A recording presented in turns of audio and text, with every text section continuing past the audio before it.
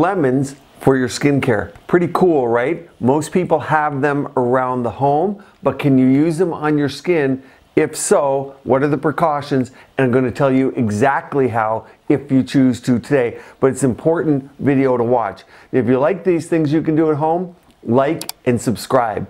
Now, the lemon contains citric acid and phytic acid, which clean and brighten the skin, removes dead skin cells, and promotes the growth of new skin even. People hardly know it, but lemon peels also are used in the prevention and treatment of cancer.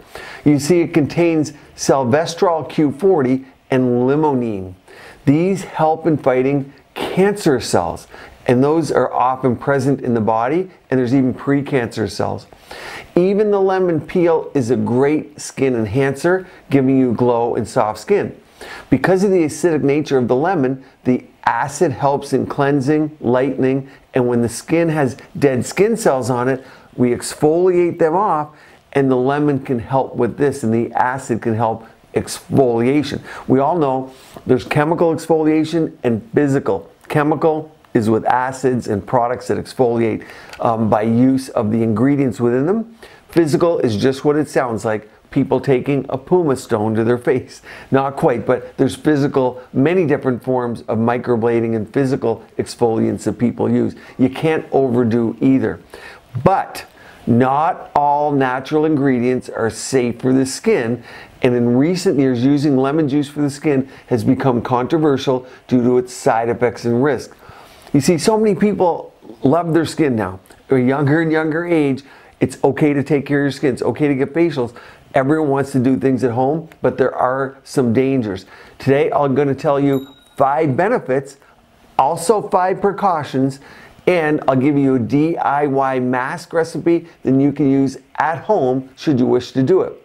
I, like everyone on this channel, am a proponent of safe DIY. Do it yourself. The more you can do at home, the more we can prevent, the better off we are prevention over cure. Like any great ingredient, if used properly in the right dose for the correct skin type, it's fabulous. In fact, I use it in my AHA Advanced Firming Cream. Goes to show you, I love organic lemon. I love AHA creams, and there's many fruits in those type of creams. Maybe some of you are using a product like that, and I'll talk about it today.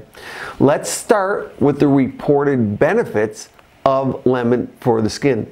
According to some, lemon juice offers several theoretical benefits when used topically. However, don't just go slathering on the lemon cocktail and just hope for the best. The bad may outnumber the good, especially when used incorrectly. But in case you're curious, here are those supposed benefits. In the comments below, of course, I'm sure you guys are going to tell me. Number one, it exfoliates dead skin cells. Lemon juice contains alpha hydroxy acids such as glycolic acid. Such acids are commonly used in skincare as they increase the cell turnover and slough away those dead skin cells. As a result, many folks use lemon juice in the hopes of reducing that dullness and brightening of the skin. I should note here that Obviously, I have that my AHA cream, as I mentioned, but understand you would need hundreds of lemons to get to the concentrated dose. Not to say using it won't achieve some exfoliation, but understand the concentrated acids that are used in skincare, for example, glycolic acid creams, are going to be about 10% concentrate uh, within the cream itself. So it would take many, many lemons on the order of hundreds to equal the same concentration, but nevertheless, it does exfoliate. Number two, it promotes even skin tone.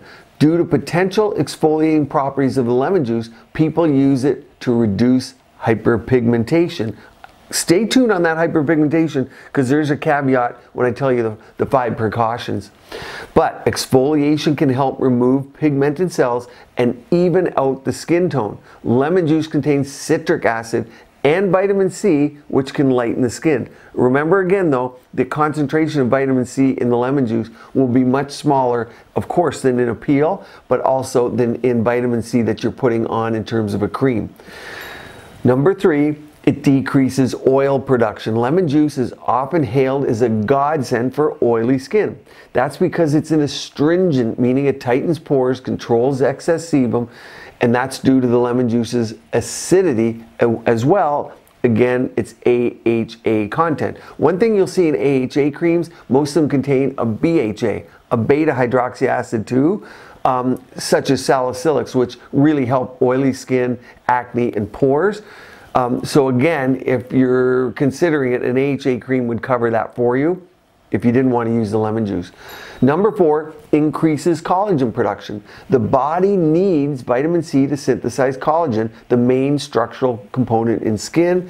We talk so much why people are taking collagen powders. When we inject things to stimulate collagen, and people do PRP and PRF, it's to get more collagen and using vitamin C rich ingredients can help support that intake of the nutrient and ultimately, of course, collagen production. Number five, of course, antioxidants. We all know vitamin C is a potent antioxidant, meaning it can help fight oxidative stress. It's noteworthy because oxidative stress can lead to inflammation, sagging, and faster skin aging. Study the Hayflick limit. However, lemon juice may help stave off these effects because it contains that antioxidant in the form of vitamin C. Now, cautions about using lemon on the skin. I hope you all watch this because it is important. Despite the potential skin benefits, you'll want to avoid overusing it on your face. Number one, increase photosensitivity.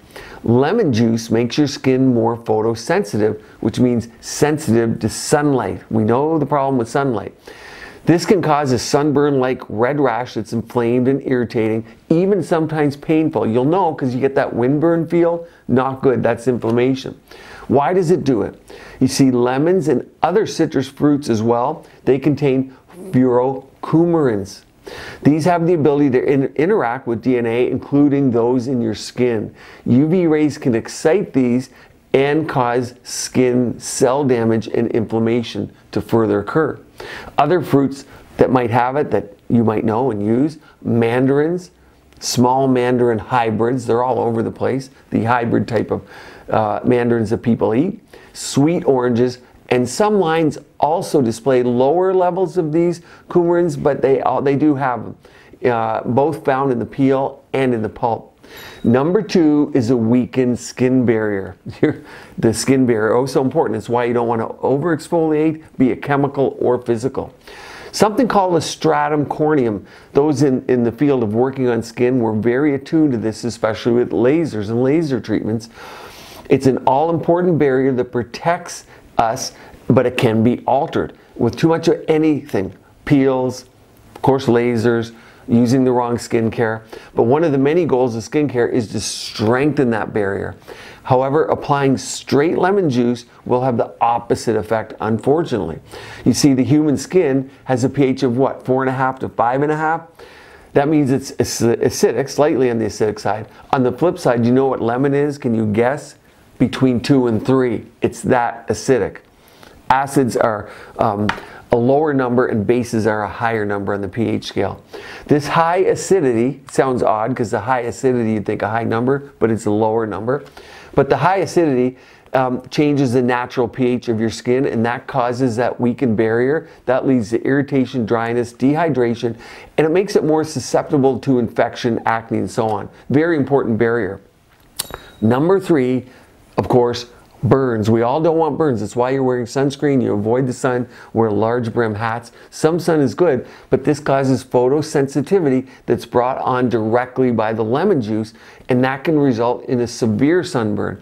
Not only, of course, it speeds up the aging, it speeds up collagen loss, elastin loss, but it also increases the risk of skin cancer too. Number four is just general irritation. Even if your stint with lemon juice doesn't result in the burns, the ingredient can still cause irritation. It's a side effect of all acids, lemon juice not being an exception. When you weaken that skin barrier, you get peeling, dryness, stinging, and then it makes it susceptible pollution, pollutants, and everything else. Number five, this is a real big one. And I, I, actually see this commonly in clinic, and it's increased hyperpigmentation. That means brown spots, sunspots, or PIH. post-inflammatory hyperpigmentation. Although lemon juice is often used to reduce the hyperpigmentation as we saw earlier, it can actually worsen the issue through burns, through skin damage, and that post-inflammatory hyperpigmentation. We all dread that one. Um, and you see a post-procedure, post-peels, anything that I want to use the word damages the skin a little bit because understand with procedures, RF microneedling, peels, everything, we're damaging the skin a little bit to create a, a controlled injury, so we're building back collagen. But I've seen months of hyperpigmentation and even permanent scarring from people using this. Not to scare you off, but be careful. So how do you safely use lemon in skincare? If you still want to use lemon in your skin, you want to know how to do it safely. First, make sure you're practicing safe sun habits like wearing hats and SPF. It's important that everyone does this, of course, but it's crucial if you're on lemon, if you're on acids, if you're on retinols, if you're on AHA, BHA creams, all of those things, you want to be doubly mindful. Um, if you want to use it, how you use it in a DIY form, a mask is the safest way. A DIY honey mask is what I recommend. Lemon juice is safer when it's diluted in another ingredient, and hopefully it's an ingredient that's beneficial to your skin, like honey. Honey is an excellent choice as it's wonderfully gentle and soothing at the same time. It has natural antibacterial effects, and it's a moisturizer. Very few people know it moisturizes, but it does. If honey face masks aren't your thing, if you don't want to use honey, you think it's sticky, you don't want to use it, try making one with yogurt, mashed banana, or even aloe vera gel. If you're using aloe vera, just make sure there's no uh, fragrance in there. That can be irritating. Try and get pure, real aloe vera.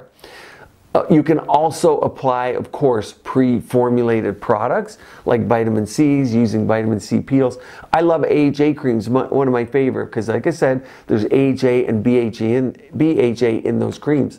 Don't forget, you can drink it. Now, lemon water is great. How we eat and what we eat has a direct effect on our skin.